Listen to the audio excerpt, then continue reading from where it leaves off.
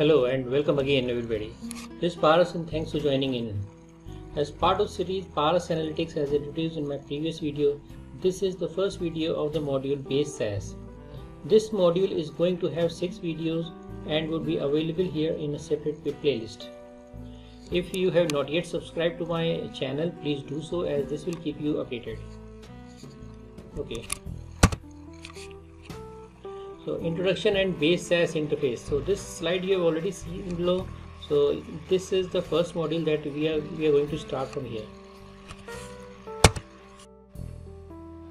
Before giving you an introduction to SAS uh, I want to show you the base SAS interface how it looks like the different windows and uh, how you work in, that particular uh, interface. Okay so let's directly jump to it yeah so this is the uh, base SAS interface I already got it open beforehand for you guys. So here you can see various windows and uh, a simple layout at the top file edit view tools and different uh, uh menu options. Then you have uh, different toolbars over here. Uh, then here you can see at the left hand side there are two tabs results and the explorer tab at the right hand side you can see uh, there is a log window there is an editor window and there is a third window called outputs uh, window. So whichever you click that one gets highlighted. So if you click the log one it gets highlighted. This is the editor editor window is a place where you write the code uh, or your SAS code. The log window you will get the log of that particular uh, program like if there is any issue if there is an error or if it ran successfully it will show all the details in the log. Then in the output section it will show the output of the program as the name suggests. The results when uh, tab at the left hand side shows the, the different results of the different execution of the programs in a tree in a tree based manner. So i'll let you know how uh, what it means. So once we go through in the explorer window we, we have different uh, icons. The one icon which is of importance over here is a library icon which which shows a different libraries uh, different SAS libraries. Okay so now let's write our simplest form of a code uh, which will involve a data step and a proc step. Data main run proc print run. Okay so uh, the, what we what we'll be trying to do is in the data step we'll just try to create a data set SAS data set uh, whose name will be main and uh, we'll be assigning a variable and we'll assign a value to that particular variable. So there will be only one variable which is like x is equal to 10 and once we execute this particular data step it will just uh, create a SAS dataset called main having one uh, observation uh, and one variable.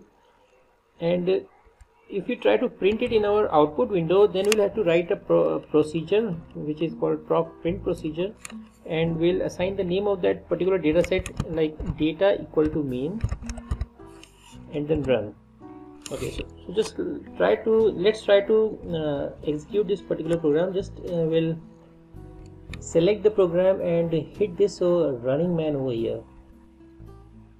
Wow. So so see uh, at the left hand side you can see there is a something uh, tree like uh, tree structure got created. Uh, and in the right hand side uh, output uh, window has popped up and it's showing a variable called x has been created and uh, its value is uh, has been created as 10 if we try to re-execute this uh, particular program giving one more variable like 10 y equals to 20 and again execute the same program so it shows there are two variables that has been created x and y and the values are 10 and 20 respectively. If we go into the explorer uh, tab at the left hand side and go inside the library. Okay before that let me go in, inside the log and help you try to uh, understand what is what is the log saying. So it says there were one observation read from the data main. Okay, let's maximize it there were two executions. So we'll see the log of both the executions. So the first execution was uh, data main x is equal to 10 over here the log says the data set work dot main has one observation and one variable. So with the print procedure proc print data equal to main it says there were one observations read from the data set work dot main okay then the second time execution uh, it said x equal to 10 and y equal to 20 then the data set work dot main has one observation and two variables.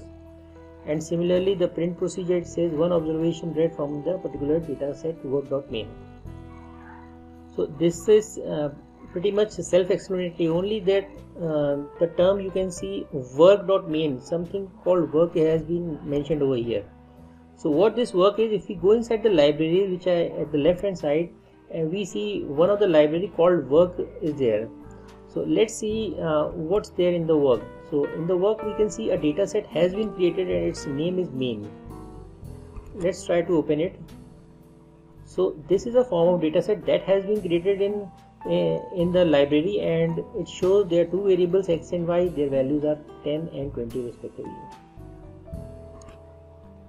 so that was a simple program on SAS environment and hope uh, this might have given you some sort of uh, high level understanding how basically uh, the SAS environment the SAS based interface works.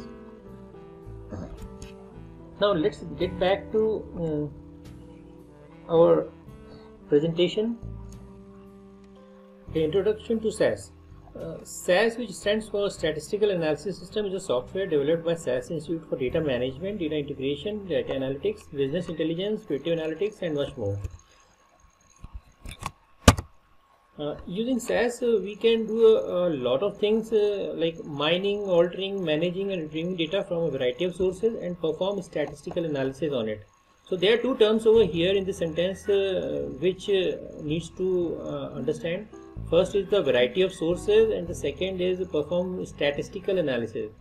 Uh, by variety of sources it means that SAS has a capability to connect with different data so databases uh, like DB2, SQL Server, Oracle, Netezza and uh, once uh, it gets connected it, it is able to fetch the data from these sources into SAS and and can perform various analysis into the system so uh, and, and that analysis can be any of the statistical analysis uh, like uh, doing some kind of modeling regression analysis classification analysis etc so SAS provides a graphical point and click user interface for non-technical users and more advanced options through SAS language in order to use uh, statistical analysis system, data should be in a tabular format or a SAS format.